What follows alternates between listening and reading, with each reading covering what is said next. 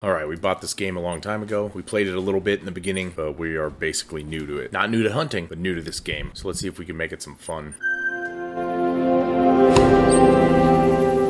Holy noise. My goodness, that was loud as all hell. Alright, level 12, we're looking huge. Alright, where are we?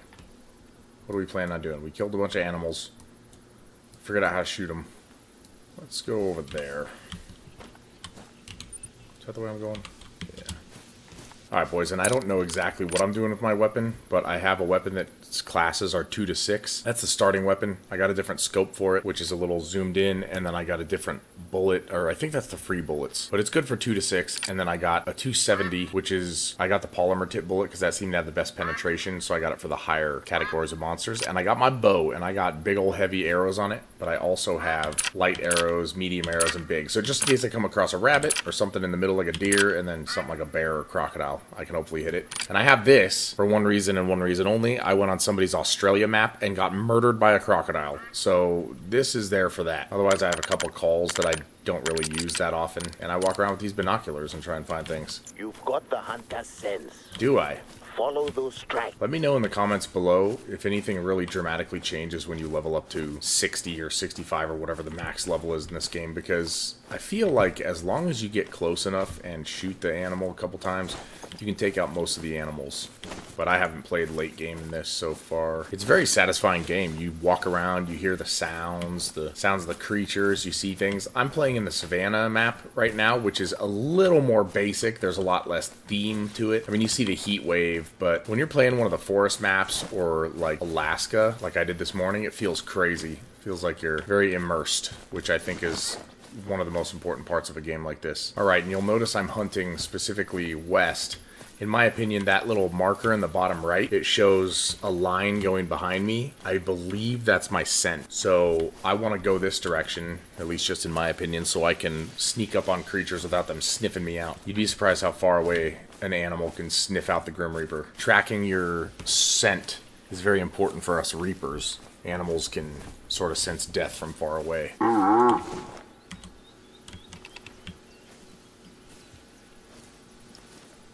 Alright, something's hanging out around here. We're fitting to find it. Yep, this is like a watering hole or something. What are you? Gemsbok. 40 to 60 meters. I can probably hit you with my bow.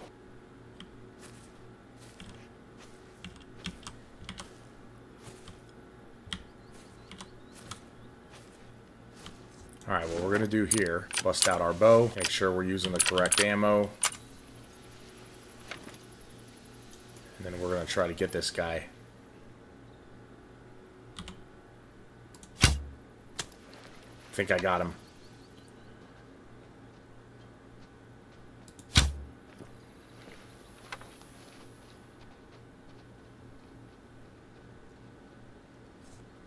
Maybe not. But the good advantage of the bow is that we shoot fairly silently.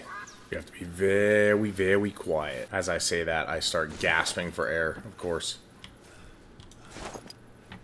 I'm hearing noises close by.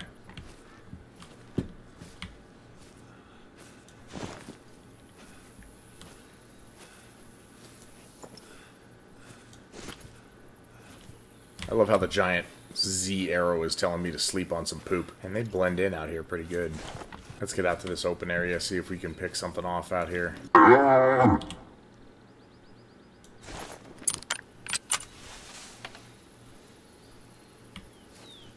Crocky, we're out here in the Savannah Desert. We found some droppings, but they look old.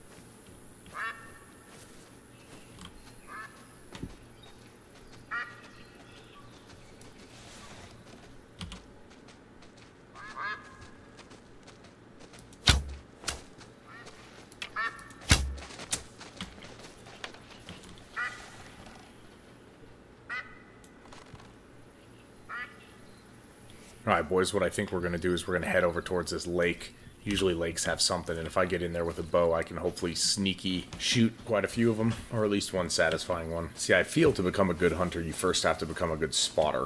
That was always the case with riflemanship, and now it's likely similar. Most of these game devs seem to design these style of games after, after realistic situations calling in hunters and experts and stuff like that. It was a warning call, so he might be running. This poor guy, I've spooked him a couple times.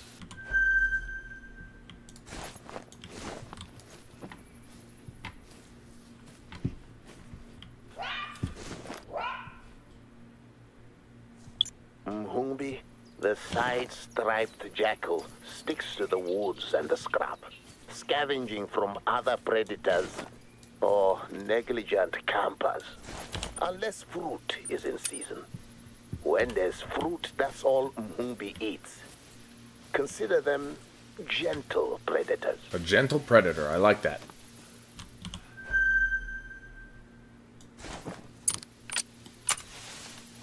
Here we go, boys.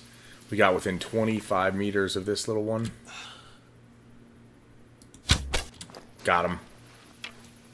Yep. We'll wait, see if he flushes anything else out. That's the way he went, so let's let's mark that so we know where to go. And let's check. Yep, he's dead. Okay. We get an ordinary walk now that we're tracking him. Bring our bow just in case something else shows its head. Tracking indicator. There's his blood. Yeah, sure. I wonder if those are real sounds of animals or if those are just like ambient noises. Fleeing, huh? The hell was that? There's something out here that doesn't like me. There's the body. But what else is out here? Oh, this would be frustrating if I was chasing something alive. Ooh, look at that big boy. What does that sound? Are there storms in this game? Alright, let's see. Where'd we get him? Right through the lung. Excellent. 23 meters. That's why I was aiming low. I knew he was closer than 40. Alright. Good looking... Good looking prize. Let's head over to the river. Or the lake. Man, some of these game sounds are so loud.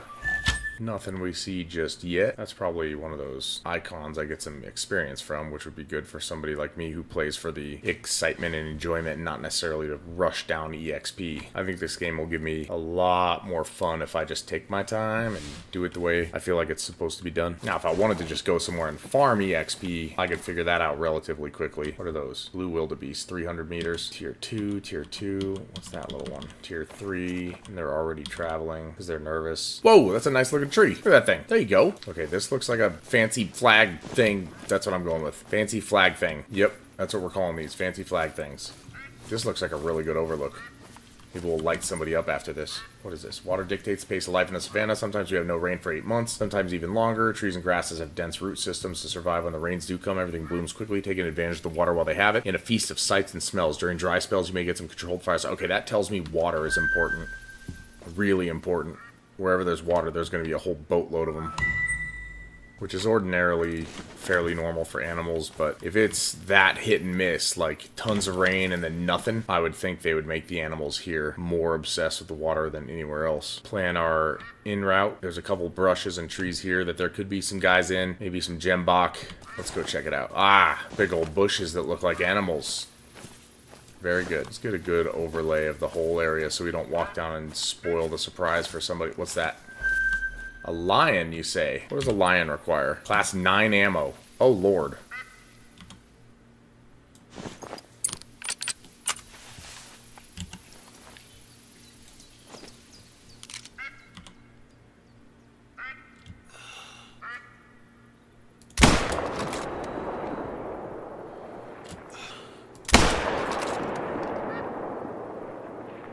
There we go. Got him. Yeah, we're watching you, Lioness. You're going down. Watch the bleed.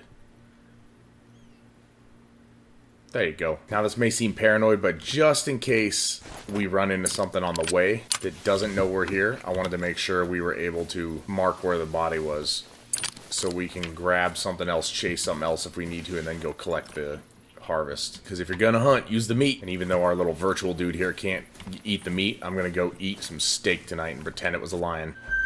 Another one, 190 to 280. How about your friend? Class 2, Class 3. Okay. 200, so I'm going to have to aim a little high.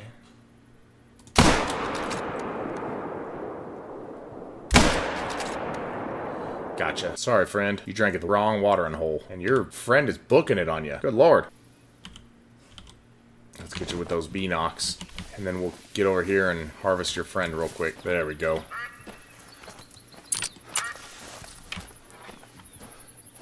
There's the original shot. Vital organ hit. And here we go. No trophy. Improper animal. Oh, yeah. I guess I need heavier ammo. That's okay. Perfect shot. Yep. That one surviving lioness is like, oh, you guys would not believe the day I've had. Now that we know lions are around, we'll switch back to our heavy bow. Or our heavy arrow. That's a fake duck. I'm telling you. Fake duck noise, or whatever that noise is. This kind of land makes you paranoid. Like, if I go for some water, am I to get hit? And the beauty of this game is that if I were hunting this lioness in real life, this would be the dead-ass last thing I would do, traipsing around in the brush with a freaking pair of binoculars in my hands, looking for the corpse, hoping it wasn't still alive. Absolutely zero chance. But in this game, if I die, I get to hit a little respawn button, so it works. Otherwise, keep yourselves off safaris, kids. Vital organ, obviously. Wrong ammo again. It says it's type 9. I had type 9, but guess not. I do long. Excellent work. Beautiful specimen. If we have any more looky-loos. Nah. Word's getting around. Yep. We gotta make our way towards that side of the lake. Word's getting around on this side of the lake. All the gossip, you know? I am not about to creep up on a lion all sneaky like. Alright, if we're walking in the brush, we're doing it the right way. The hunter has become the hunted! Alright, so we know this is where lions frequent on this side of the lake. So we know it's very unlikely for Gemsbok or any of the herbivores to be over here because they're probably getting scared off by the lions. There we go. There's a big boy. 310 meters. Let's see if we can creep a little closer before we take that shot. He's got his women around. He's relaxing with his big old mane. He don't care. Oh yeah, he's in the prime position to get taken out. Oh, that's going to be a beautiful shot. He's just lounging by the beach. 250 meter. Oh, perfect. Drinking water, hanging out. There we go. He's at about 280, 270, maybe even a little higher, 290. Wow, my guy can't breathe. My goodness, not a good shot. What's that?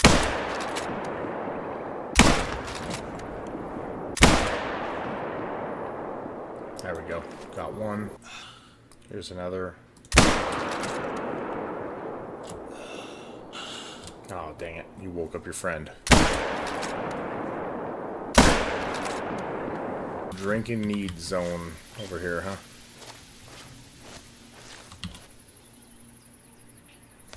Not bad for the wrong bullet. There we are. Stacking bodies on the beach. Where's your boyfriend? Tell me, where is he? Fake duck. We'll give the water a little time to cool down pun intended, Gemsbok facing me. Not a good shot. Oh, another one. Ooh, not facing me too much. Where are they all running from? It's just a herd running to my left? Okay, let's get over there. See we can't get a whole herd of these things. Um, I'm not walking in those bushes when I hear a mating call. Nope. Now they're running. Of course they are. Well, you're allowed to run away if you're trying to mate with me. Get out of here. Ooh, 300 meters. Get a little closer. We got a whole herd we can take out. Okay. We can make that shot, but we won't be able to make five of those shots. It's better to get much closer. We're getting close to 200. Trying to keep to the left so our smell doesn't hit their nose. Ah, now they're in the tree cover. Dang it, we're gonna have to get a better vantage point. Dang, I'm gonna have to run around this way and circle around on them from behind. Maybe if I was starving, but Okay, you're already fleeing. No. I'll let you go because I have a whole herd over here, and you can smell me from that direction. Means I need to shower, yes, I get it. Hey, little hare. There we go. The scrub hare. Mfundla. Like the savannah and the scrubs. Oh my gosh, this guy's talking to me about a scrub hare. I'm hunting blue wildebeest over here. And we've had plenty of droughts so you'll find them zigging and, and zagging all over. Gemsbok, I'll oh, probably hit all these from here. I'll use my bigger rifle for the longer shot.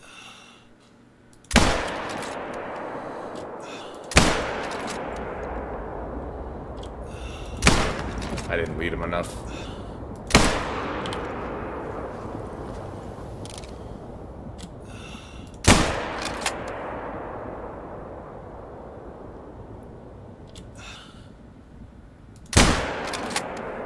I think I missed right. Got him on that one. Alright, let's see what we got.